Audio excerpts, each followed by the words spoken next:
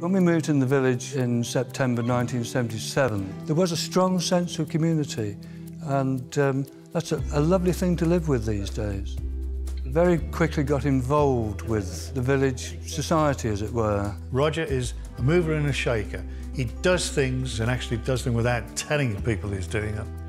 I was invited to join the, the parish council. This is my 31st year. I was invited to join the village hall committee on the strength of really my woodworking skills, actually. I helped to build the first bar. I actually made the wine rack. We discovered the bridle path. It was part of untouched Norfolk. And on the strength of my suggestion, it was opened up and people could walk from the main road right through to the village. He's been a mentor to a lot of people and a good friend to a lot of people in the village. So he's important to me. But it's just nice to serve the community. And I feel very fortunate that I've lived in a community where I've been able to do these things.